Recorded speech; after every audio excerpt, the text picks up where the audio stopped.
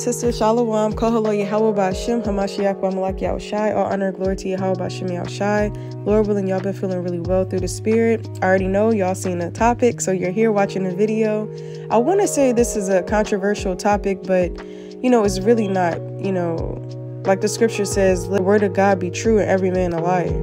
You know, sisters might say that, oh, it's not lawful to uh, for a man to have two wives. It is illegal in America. It's illegal for a man to have uh, multiple wives. Um, but at the end of the day, Israel is still going to do what they want to do in their captive in the land of their captivities, just like how when it wasn't lawful for us to profess ourselves to be Jews or to keep the feast days or the Sabbaths, you know, Jake was still circumcising their children, getting put to death. They were still keeping the Sabbath days, getting put to death, you know, going hard for being an Israelite. And that's in our culture for when you read the scriptures for a man to have more than one uh, one wife. Okay, so you know it's kind of like denying your heritage. And if sisters say, oh, well, that's illegal here. So what if Esau makes it illegal for us to keep the feast days, for us to keep the Sabbath days? So are you going to not keep the Sabbath day just because Esau told you that you're not going to keep it? So we have to use wisdom. It's lawful and it's in the scriptures, and the Lord doesn't change. So it's really not controversial when you know the scriptures and you have understanding. You have to go based upon precept upon precept, line upon line, here a little, there a little. You can't go based upon how you feel. Especially sisters, because if we did everything based upon how we feel, then I don't know, a lot of us would be in jail. So, or I don't know what situation we would be in, but you can't do things based off of how you feel, okay? We have to do things based off of the law, statutes, and commandments that the Lord gave us.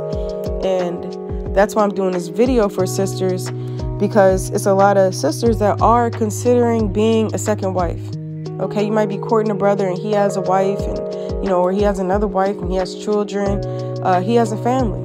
So this video is more so particular for those sisters that are looking um, into being an addition to a man's household.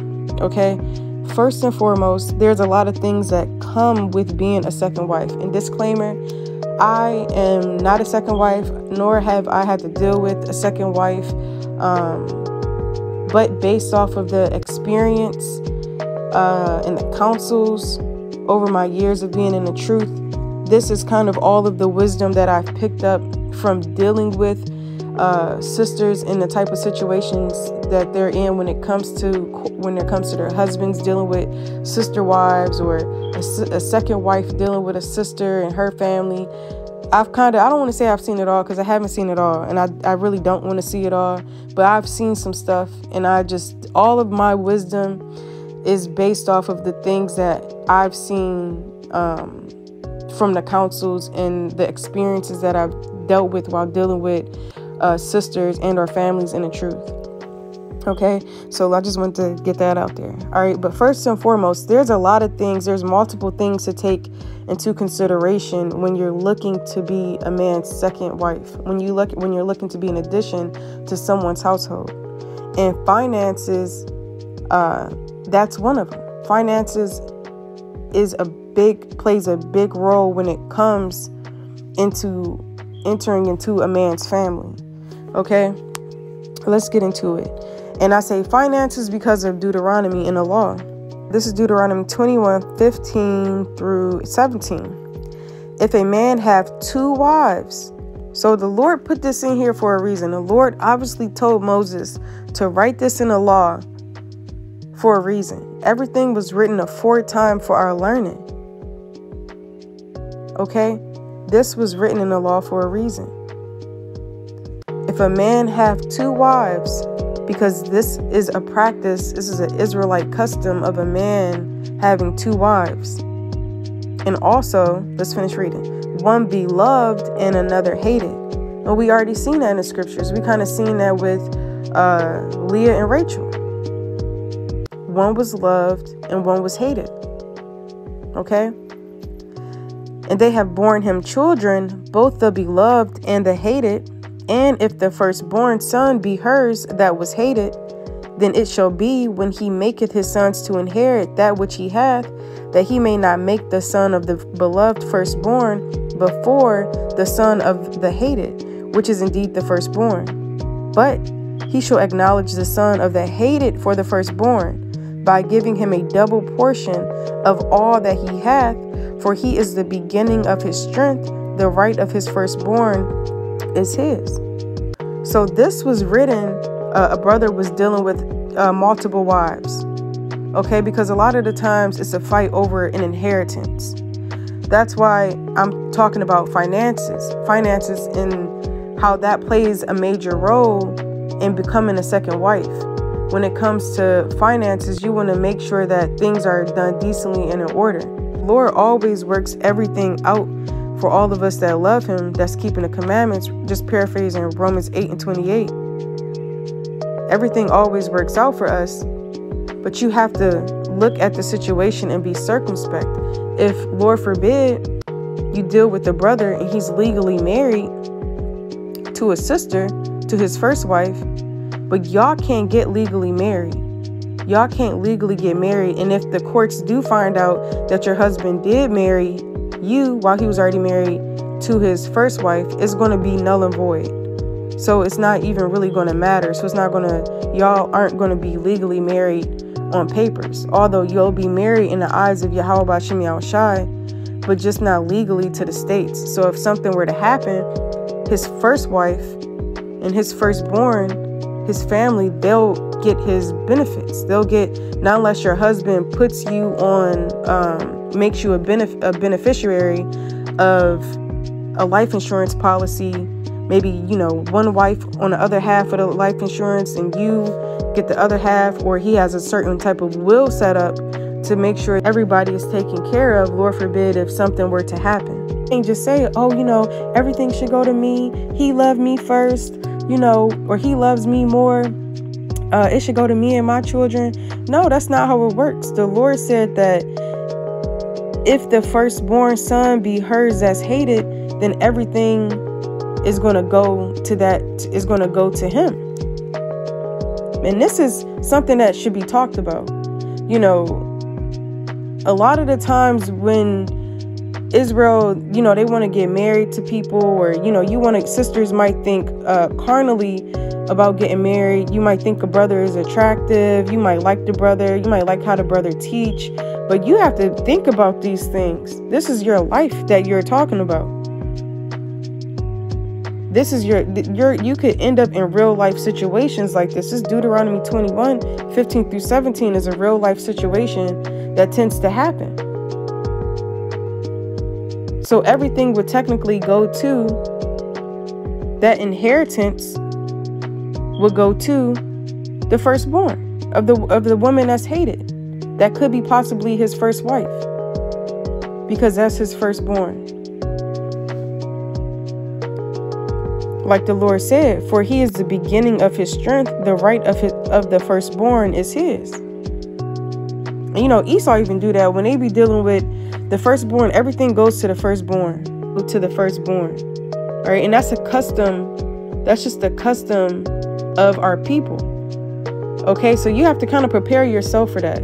As a Israelite princess, as a daughter of Yahweh Shem Shai, that you're not getting yourself into a situation where the finances are out of order. Okay? That could possibly, you know, maybe leave you with nothing. And that's just keeping it real. Reminds me of DMX's fiance losing the case to be declared a common law, uh, declared to be his common law wife, although they were engaged, but they never got papers legally saying that they were married. So she, and he didn't have a will for her set up. So she lost everything. She couldn't um, get his estate. So and it's different in different states. Only eight states that recognize the common law marriage Colorado, Iowa, Kansas, Montana, New Hampshire, South Carolina, Texas, and Utah. But it also says, however, in the states that acknowledge common law marriages, you would have to be uh, married or dealing with that person, including living together, for seven years is like the common time frame for common law marriages. So that's something for sisters to research on their own DMX, Earl Simmons, died without a will in, April from alleged drug overdose. Five of his 15 children, including three sons from his marriage to his first wife, uh, Tashera Simmons, have already petitioned the New York court to be declared administrators of the rapper's estate. When someone does Oh, they said does. When someone dies without a will, their estate is called uh, intestate, and their assets are distributed according to the state's interstate laws of inheritance, and it can take considerable time and expense to settle the estate. So, you want to make sure things are done decently in order so that you know you're going to be set up, okay, to inherit something if your husband were to unfortunately die, Lord forbid something that sisters have to take into consideration. Although the Lord is always going to make sure that his people are good, we've never seen a righteous forsaken, nor his seed begging for bread. Have to ask the brother that you're courting, hey, before we get married, is there any way that, you know, I would be able to, you know, be still taken care of if something were to happen? Okay, that's something to talk about. And be prepared for your husband's inheritance to go to his firstborn son, if he has a firstborn son. Okay? And another thing with finances do not put yourself in a financial situation where you're a nurse, you work, uh, I don't know, maybe 15, I don't know, 20 hour shifts three times a week. You're making about i don't know 50 60 dollars an 60 dollars an hour whatever the case may be. You courting a brother but you're also giving this brother money to help him with his wife and his children okay? And you could be given, this brother could say hey any checks that you have give them to me. Put them in my account. You don't need access to it. And that kind of goes into um, financial abuse. And that's in the, one of the videos that i put about courting so if you haven't seen the video about uh, red flags about courting this is a red flag because sometimes based off of what i've seen in this truth some brothers may try to deal with you because of your financial uh, your financial uh, situation okay so you want to make sure that the brother that you're dealing with has his stuff together, that the brother has a job, that the brother, you know, has his own. Okay? He has his own place to stay, that he has a car, that he has all of these certain things so that you're not going to be used up and abused. This as a perspective also as being a mother. For my daughter, I would want my daughter to be married to a man that has his finances in order. Okay? But enough with me just talking, we can get into the scriptures. All right, this is First Timothy 5 and 8. But if any provide not for his own, especially for those of his own house, he hath denied the faith and is worse than an infidel. Now, just because the brother go out and teach, and the brother real mighty, you know, his videos might be mighty, or he might be a you might go out and see the brother and think that the brother has everything together. And you kind of just going based off of what you see, but you haven't proven a brother. You have to prove this brother and, and make sure that this brother is providing for his own family. That this brother isn't physically sitting at home talking to you while his wife is at work and the kids at school. And she got to come home, clean the house, pay the bills, do everything. But he's not providing for his family. That's not a brother that you you don't want to be joined to a family like that. Because that brother would be worse than an infidel. You want to be with a brother that's taking care of his family. And that can take care of not only his first wife, but take care of you. And that's important. If a brother can't financially take care of you and his first wife and his children with his first wife, then that brother is going to be an infidel. And do you really want your husband to be an infidel? No, you don't. You don't want to be with a man that's an infidel. That's worse than an infidel. so important to make sure that you are dealing with the brother that has his stuff together financially. And I understand. I understand, sisters, brothers. You might talk to a brother. He might be falling on hard times, like I've said in previous videos. We in captivity. Brothers gonna fall on hard times. But proving a brother is that he gets up and he's like, okay, look, there's some type of change. There's some type of progress. It's not, yeah, I've been looking for a job. I've been looking for a job. Yeah. I've been looking. He been looking for a year and still don't have a job. And this is somebody you want to be their second wife? Why? So you can take care of him? No. A wise woman builds her household up. So you want to build you could you want to build your household up but you need your man to lead you and to help you build your household up. You're not the leader. You should not lead a man financially, telling him, but here, I'm to give you money for this and I'm to give you money for that. And you make sure. No. Ecclesiasticus 25 and 22. A woman, if she maintain her husband, is full of anger, impudence, and much reproach. So if you're maintaining this brother his wife, his kids, his bills, his family, you're gonna, it's gonna, a spirit is gonna come on you where you're full of anger, impud- impudence, and much reproach. You're gonna kind of resent the brother. You're not gonna be happy. Definition of impudence it's not showing due respect for another person. So you're not gonna have respect for your husband if you're financially uh, providing for your husband.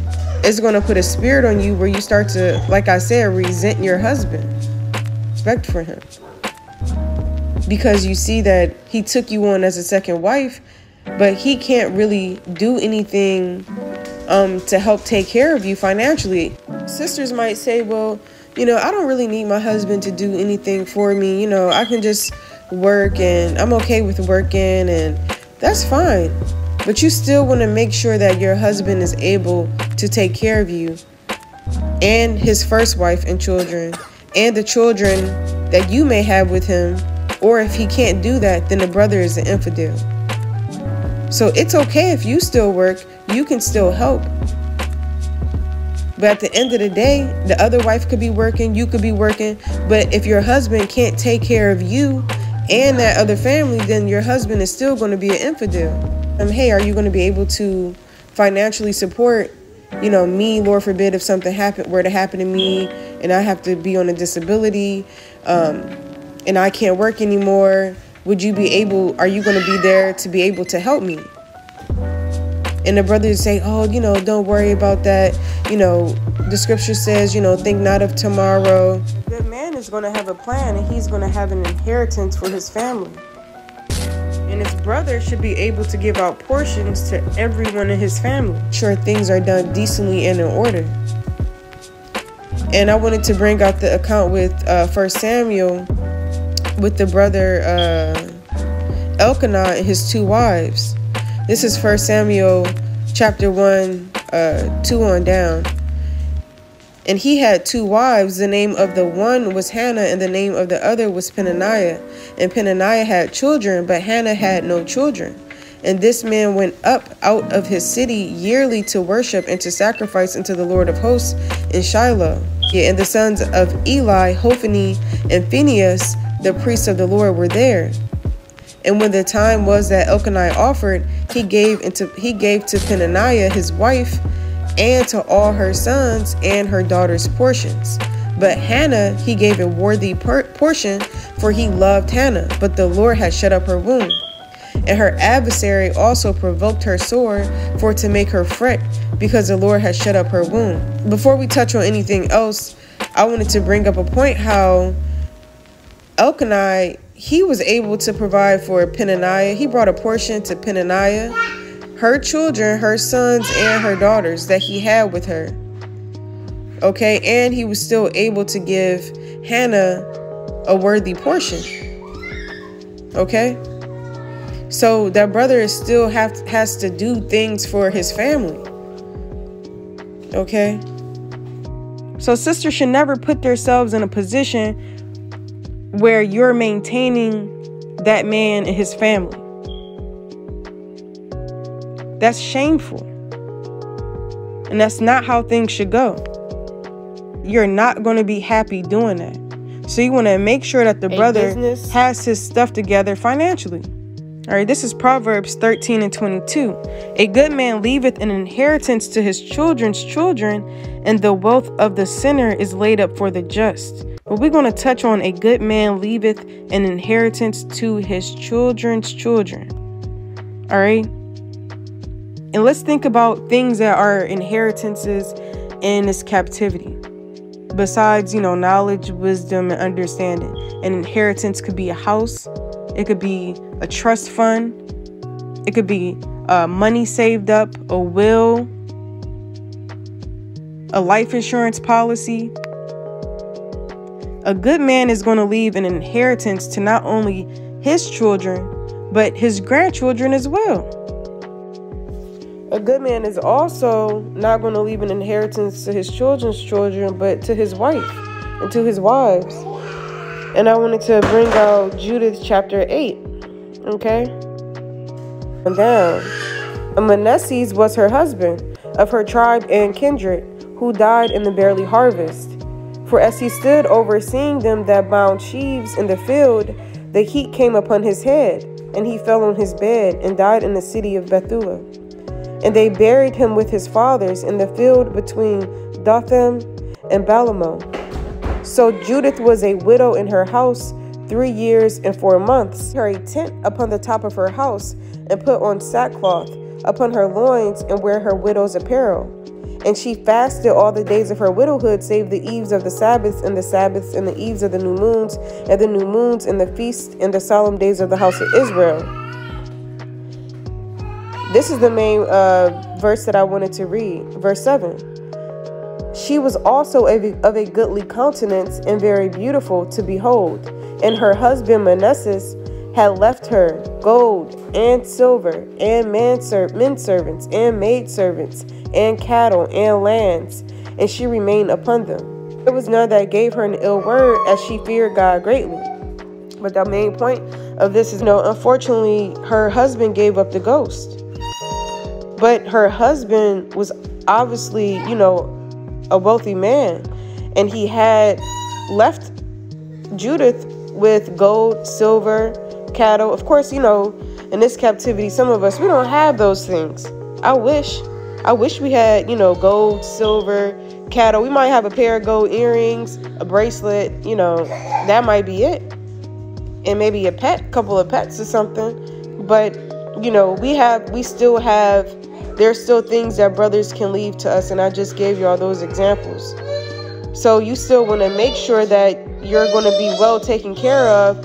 Lord forbid if something happened to your husband. You know, and that's something that, you know, we we don't like to think of. No one wants to think about that, but you want to make sure that, you know, you're going to be okay and that you're going to be taken care of. It says, and she remained upon them. So everything that her husband had, he left it for her. And she still stayed in that house. She still had everything that he left. Okay? You are thinking about courting a brother and the brother don't have everything together.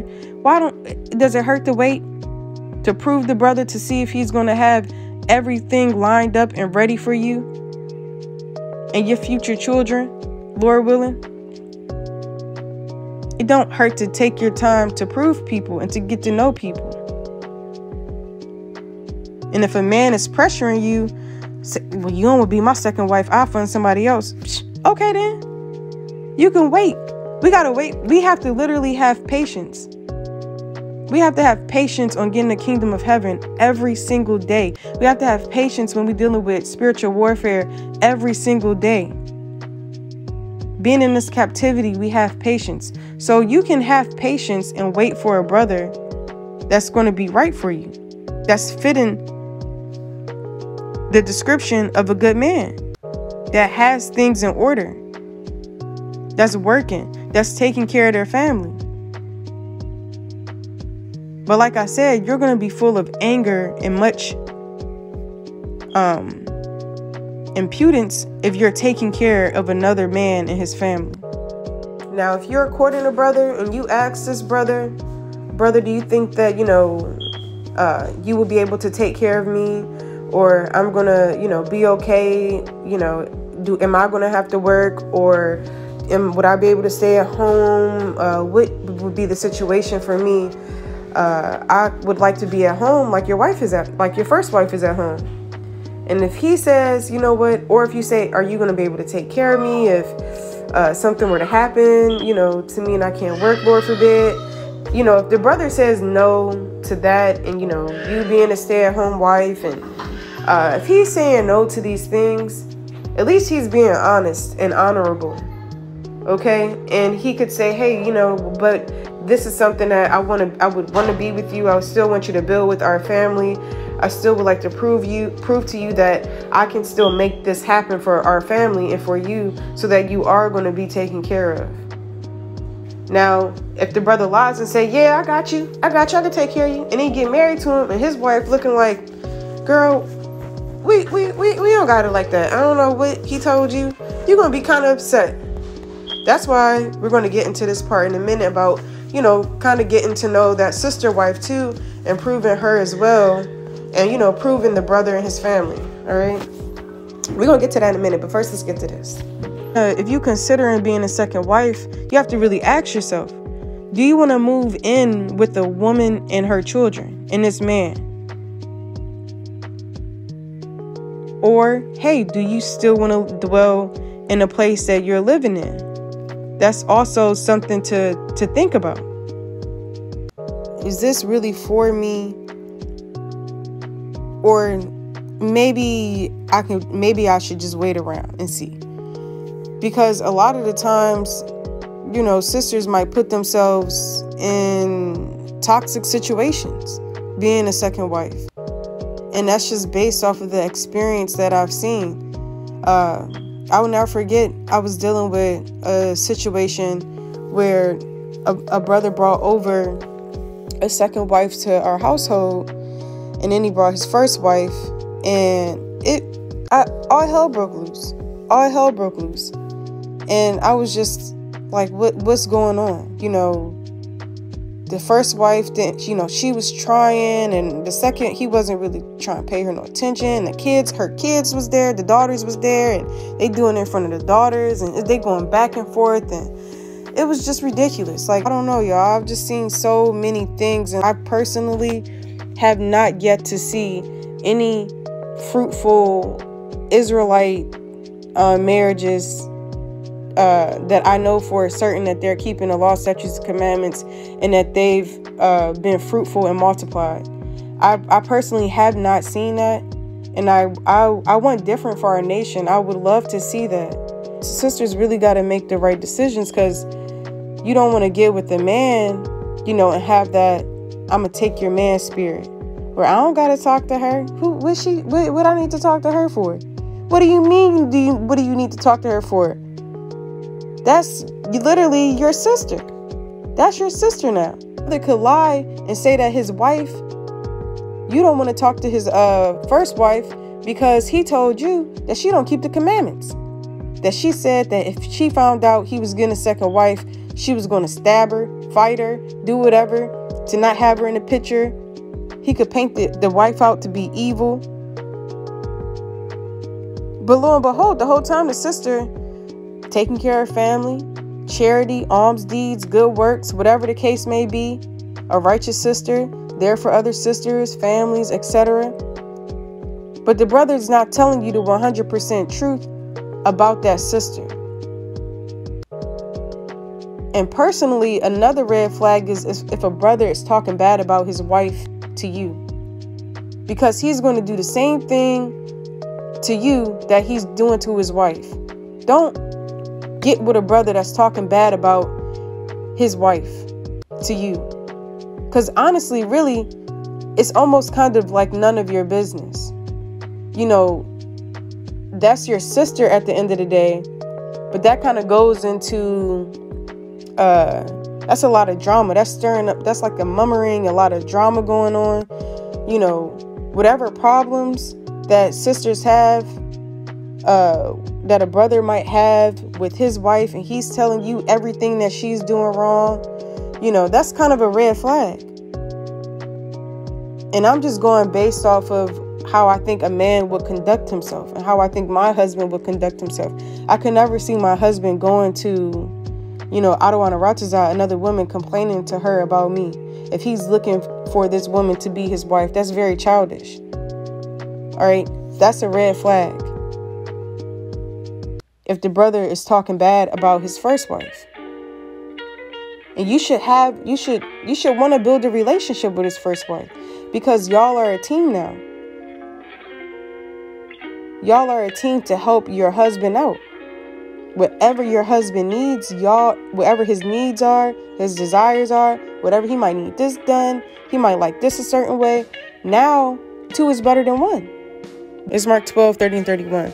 And thou shalt love the Lord thy God with all thy heart, and with all thy soul, and with all thy mind, and with all thy strength. This is the first commandment.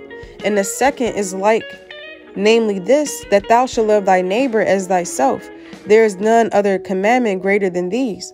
So you should love that sister like you love yourself. You should want to have a relationship with that sister.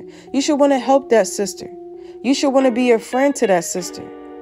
Because if a sister was dealing with, if you was in her position, you would want the same respect. You would want a sister to show you some type of respect. And say, hey, this sister has been married to this man. She obviously knows this man. My goal being married to him is to be his helpmate, not to take him away from his family, his first wife. Because some sisters have that I'll take your man spirit. And if you have that spirit on you, you really need to rebuke that. Because it's not about taking anybody, you're not implementing the curses on a household. That the father leaves the wife of his bosom and his children, his eyes evil upon his children. If you have that mind frame, then you're a wicked woman. If you feel like you can take somebody's husband away from his family, that's Satan. So if you have that spirit on you where you like, mm, I can I can take her husband from her in a quick second. That's what I want to do. I look better than her, my garments better than her. You a wicked woman. That's that's I hate even saying that out my mouth. That's wicked as hell. So if you're thinking like that, then the Lord is going to render you according to your works. If you being if you looking to be a second wife and you thinking about taking somebody's husband from them. And I'm I'm I'm disgusted that I even had to say that out my mouth, but that's really what it is sometimes. And sisters, if you feel like that, and if you feel like you gotta you that I'll take your man spirit, then you need to repent. And you really need to focus on the most high. To be completely honest. Instead of trying to destroy a household, trying to take a brother away from his a righteous brother is not going to be swayed by a woman to take to to leave his family anyway. So a real brother, a real righteous brother, not going to leave his family to deal with you. He's gonna be like, all right, well, you ain't the one for us then. All right. But you know, long story short, sisters should just have respect for that first wife and try to get to know her and prove her as a friend as well. If her brother say, nah, you don't need to talk to her, you don't gotta worry about her. She she crazy. That's a red flag. That is a complete red flag. Because why would you want to talk to a brother whose house not in order? And that's just keeping it real. The scripture says, let everything be done decently in order. If a brother house not in order with his first wife and his children, and she, you always hear that she mad at him because of this, and he doing this, and the third, and they staying with his mother, but he really want to be with you. He wants you to move out there. Y'all all in her, the, the uh, his mother house. Now you married to him, and y'all all dealing with what what do that sound like? That sounds crazy. That sounds like things aren't being done decently and in order. It sounds like you might have put yourself in a predicament that you can't almost get out of. Because now you're married to this man, you're bound to this man. Because you didn't see the red flags that, hey, this brother don't got his stuff together. You want to be with a man that has his things in order, who talks highly of his wife. In some situations, that might not be the case because some sisters uh, might not really be in the truth or whatever the case may be. It's kind of, you know, based off of the, the real the situation. But I'm just trying to say you don't want to be with a brother that's talking terribly about his wife to you and saying that he don't want you to have a relationship with her. That's a red flag. Okay? Cuz I know personally, Lord forbid I would ever have to be somebody's second wife, but I would want to get to know that sister and say, hey, you know, how do you feel about this? You know, I know this is your husband and I know you don't know me. Uh, you know, I know you have children and I'm just, you know, a woman that's that's get that's, you know, proving your husband and I'm I'm trying, you know, to get to know y'all to see, you know, what I can help y'all with and you know, I love your husband, I respect your husband and I, you know, want to be I really want to be a part of your family, etc. That's how a righteous woman is going to think when it comes to being a part of a household. What can you help bring to the table? What can you help this man with? How can you help this sister? So that they're able to serve their husband in a more uh, timely matter, whatever, you know, maybe he might want stuff done faster or whatever the case may be, how you can be, how you two can be a great help to this brother. Okay? Because that's your sister at the end of the day. Y'all, when people see, when I see sister wives, I be like, okay, where's your sister wife at? That's what I'd be thinking in my, my head. I'm like, okay, where's other, where's your sister wife? Because now y'all are kind of like the same person. Not saying that you're not going to have your own identity, but sisters kind of look at other sisters like, okay, this is the house of so and so. You're a part of this man's household now. You're this man's possession. So y'all are pretty much two peas in a pod. So y'all gonna have no choice but to really get to know each other, to be there for one another, and to prove one another as well. I really want sisters that are considering being second wives um, to think about this situation. If a brother is courting you and the brother just had a baby, you would have to really think about how that would make your sister wife feel, your quote unquote future sister wife feel. How would you feel if you just had a baby and your husband was talking to someone else? I want sisters to actually love their sister like they love themselves. Because I know you would care. I know you would care if a sister, if you just had a baby and your husband is on a phone talking about getting married to somebody else. I know, I know 100% for a fact you would care.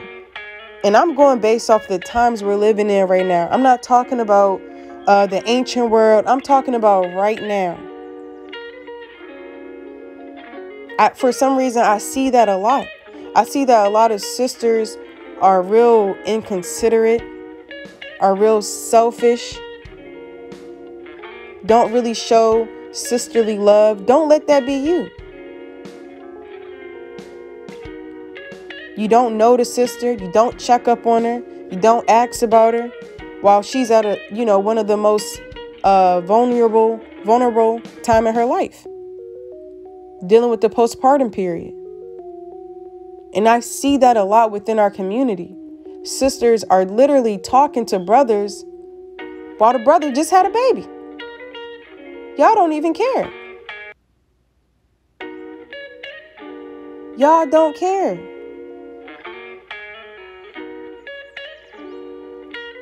And I want sisters to really take a moment and think about that.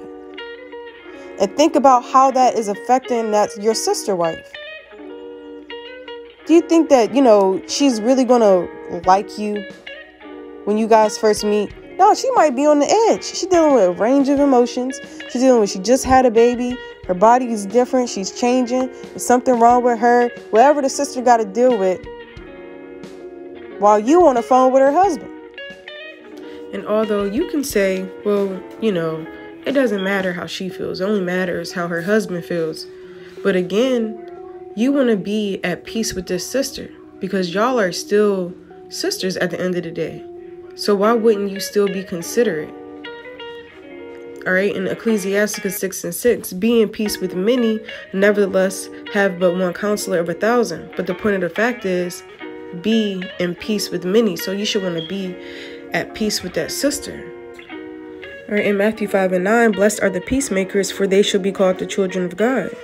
So you're going to be blessed if you're that sister and you kind of like a peacemaker. You're like, dang, sister, um, you know, your husband wants to court me. Hey, and sometimes, a lot of times, uh, Jake is not really too considerate or don't really understand how delicate a woman is after having a baby. But as a woman, you know what? Dang, this sister just had a baby. Uh, you know, maybe you know maybe we can court a little bit later till after you know she's over her postpartum period. You know that's something that i really think sisters should take into consideration. Because when sisters get into a postpartum depression sometimes it might be hard for a sister to get out of it. And she has to take care of this man's seed. And that's very important so sisters you have to make sure that you're loving sisters like you love yourself you have to be considerate. Or if you don't want to be considerate, it's like you can you're creating that situation between Hannah and Peninnah in First Samuel, where there's this strife, there's this contention. Samuel, we can start at four because we already read it. Uh, Salakia verse 5 But unto Hannah he gave a worthy portion, for he loved Hannah, but the Lord had shut up her womb. And her adversary also provoked her sore. So they were adversaries. So you really, do you really want to be an adversary with your sister? Do you really, really want to be somebody's adversary? I know I don't. That's the last thing I want. Is to be a, my sister's adversary. All right? And her adversary, she provoked her sore. So she she was being a spirit to Hannah. And you don't want to be that sister that's being a spirit to another sister. You kind of provoking the sister to get mad. You calling the brother at two o'clock in the morning while you know he with his wife and a baby. If they live in the same house. Whatever the case may be, you're provoking the sister. You don't want to be that sister that's provoking the first wife to be angry. And you don't want to be that sister, you know, that second wife that's coming in because your husband wants to have children and um your husband wants to have children and the first wife might not be able to have children and you don't want to provoke her like you don't want to provoke her like Peninnah was provoking Hannah. Because look how that made Hannah feel was depressed. To the point where when you read further down that she was crying. She wasn't she was in there praying and crying where eli thought she had a spirit on her. He thought she was drunk. But she was very sad that she couldn't have children. So sisters get really upset you know and are really vulnerable after they give birth to a baby and when they can't have children so if you're a sister that's there uh, during the postpartum period you have to ask yourself why i don't know why if you are a sister that's there, you know, that's that wants to help that husband raise up seed, don't provoke your sister. Don't provoke her. Don't don't act like you're better than that sister. Okay? Cuz the Lord is going to render every man according to their works. So you think that you, you know, you better than the sister, but the Lord could jack you up. This is Genesis 30. And when Rachel saw that she bare Jacob no children, Rachel envied her sister and said unto Jacob, Give me children, or else I die. So if you're a second wife going into a situation where the sister can't have children, she might envy you. She may she may envy you. Okay? There might be times where she's going to be happy for you, but deep down inside, she, the sister might envy you because she can't give her her husband children. You know, sisters, we're very emotional. So a sister may envy you, and you have to ask yourself, you know, is that something that I want to deal with? You know, it's something light. Sometimes it can be heavy, like the situation with Hannah and Peninnah, to the point where a spirit might come on you and vex you. But let's jump down to the days. And Reuben went in the days of wheat harvest and found mandrakes in the field and brought them unto his mother Leah. Then Rachel said to Leah, Give me, I pray thee, of thy son's mandrakes. And she said unto her, Is it a small matter that thou hast taken my husband? And wouldst thou take also, Salakia, wouldst thou take away my son's mandrakes also? And Rachel said, Therefore he shall lie with thee tonight for thy son's mandrakes. So you can tell it was some type of tension. It was a spirit, Salakia, spirit of envy, jealousy that had Rachel and Leah at odds. She said, you know, she just asked for some mandrakes. So you could tell it was bothering her spirit. If she like, oh, sh- you asking for my mandrakes, it's, it's bad enough you took my husband. Like what? You know, so it's going to be that contention, that spirit. I'm not saying it's going to be like that all the time. You know, I know Rachel and Leah love one another. It's not going to be like that all the time. You know, I don't want to route design. Every, you know, situation is different, but I'm just here to bring you, you know, the different scenarios based off of the word of the Lord.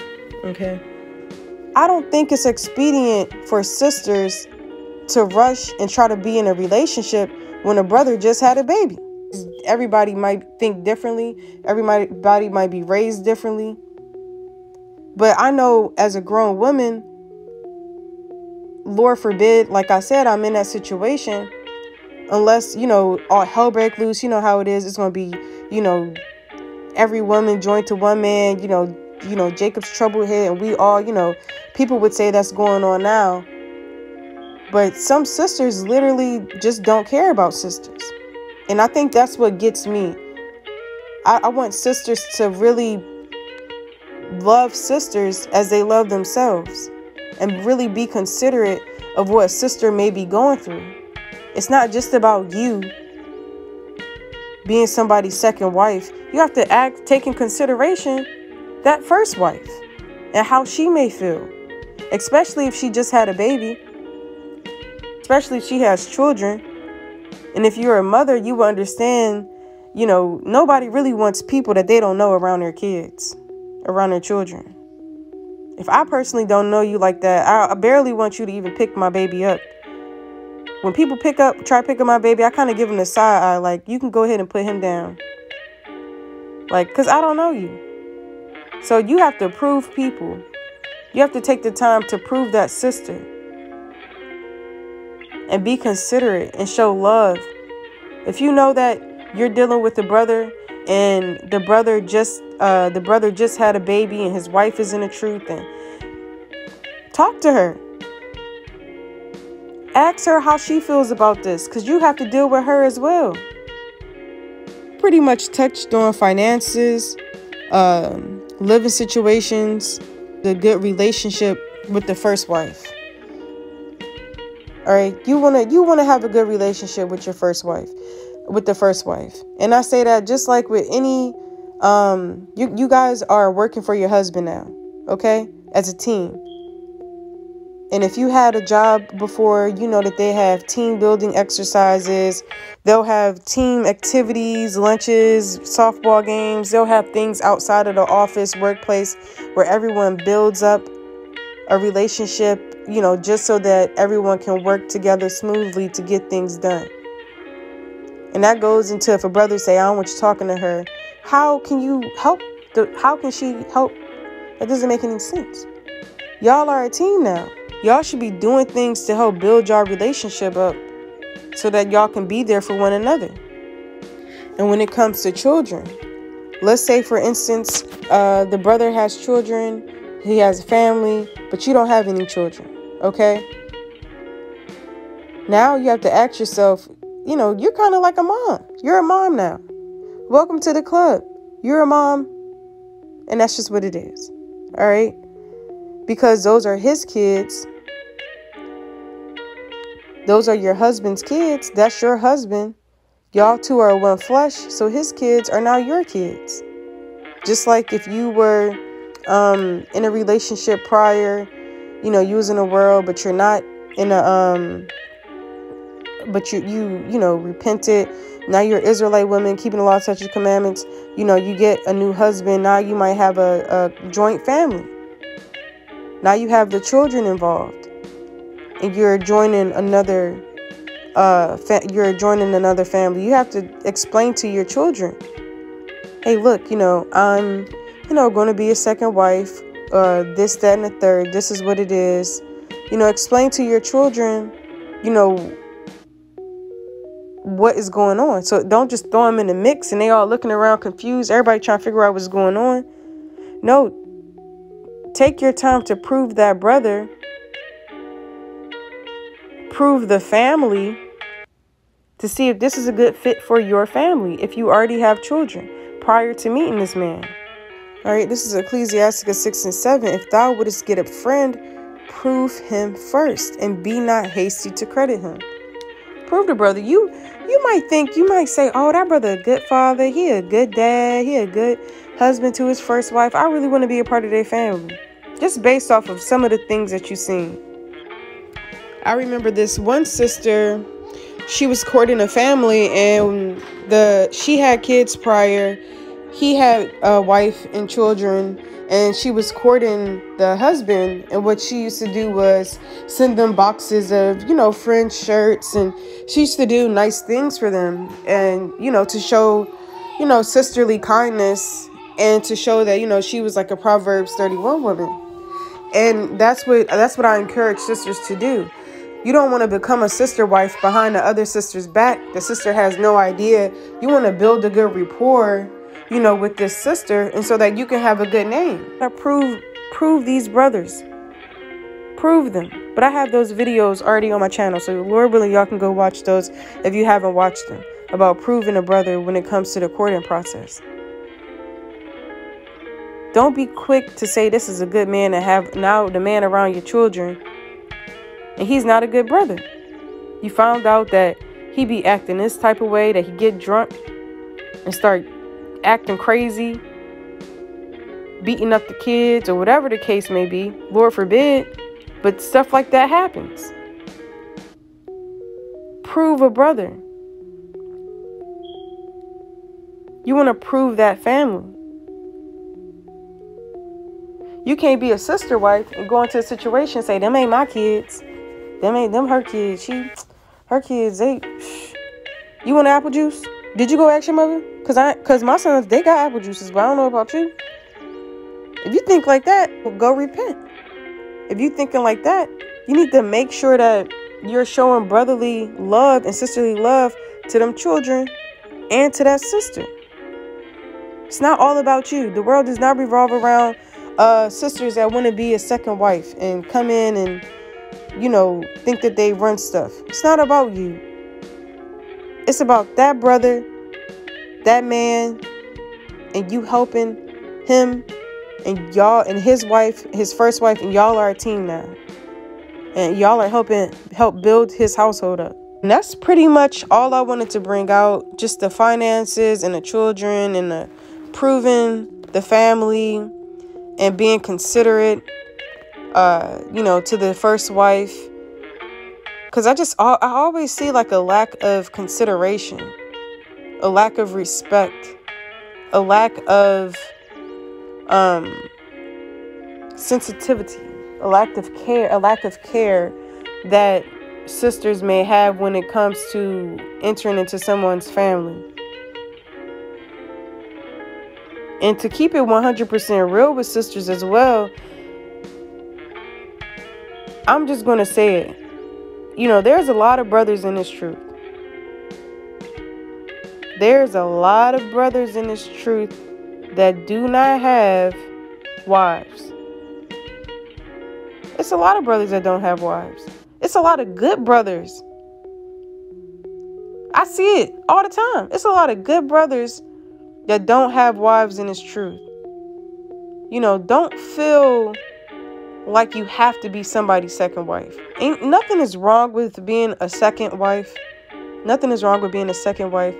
But you know, you you have options as an Israelite princess and daughter of Yahweh Bashem Shai. You know, Abigail was a second wife.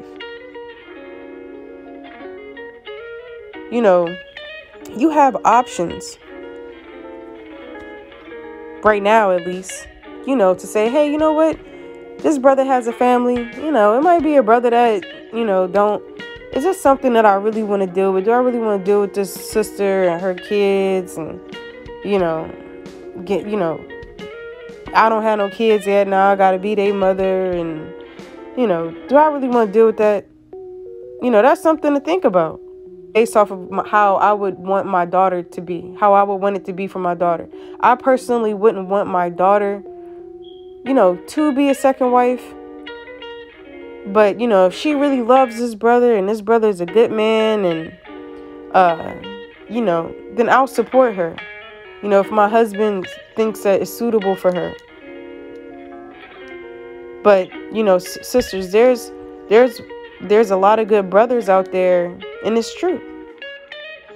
You also want to let reason go before every enterprise. That's Ecclesiasticus 37 and 16. Let reason go before every enterprise and counsel before every action. So you want to let reason, meaning you're thinking about becoming a second wife and you're thinking about everything I just brought out, and you're also getting counsel before you get married to this brother. And it's important to watch my marriage videos. It's important to get marriage counseling before you actually get married, especially when you're dealing with another woman or children, family involved. Okay? Long story short, sisters, 6 and 33, but seek ye first the kingdom of God and his righteousness, and all these things shall be added unto you. So you really want to continue to seek first, you know, the kingdom of Yahweh Shem Shai, and then he'll add a righteous man unto you. All I wanted to touch on Lord willing, y'all keep enduring through the Spirit. Shalom.